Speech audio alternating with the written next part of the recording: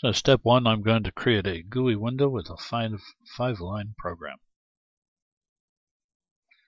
Step two, whoops, step two, I'm going to turn the program into a class that has three buttons, which call three separate functions that will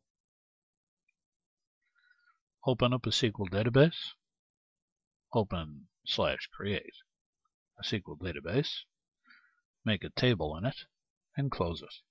Three buttons. Step three.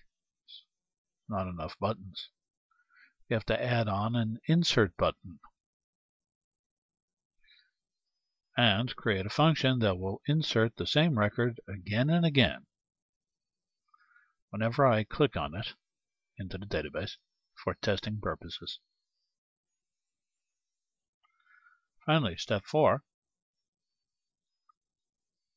There we go. Step four, create a list button that lists out all the records in the database, in the database table.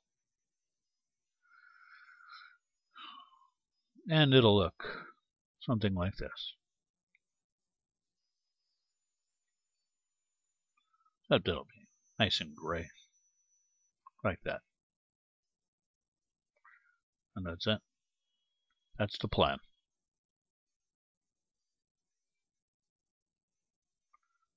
This is George Boole.